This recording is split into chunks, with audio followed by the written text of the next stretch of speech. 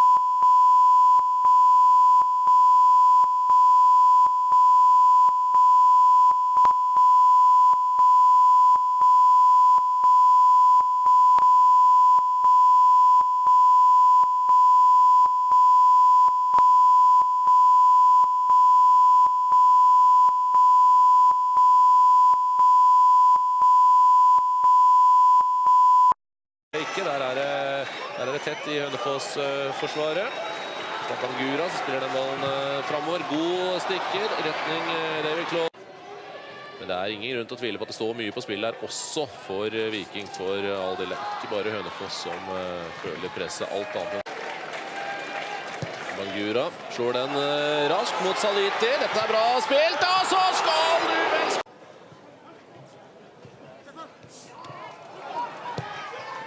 Bangura, ja, dette er bra. Glipper bak hos eh, Viking. Kan du avslutte her, da? Det kan du vel? Nei!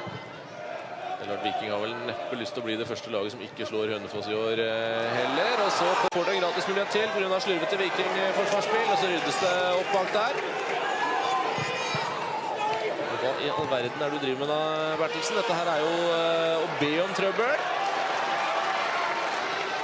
Kommer innlegget. Oh, så er det ingen som får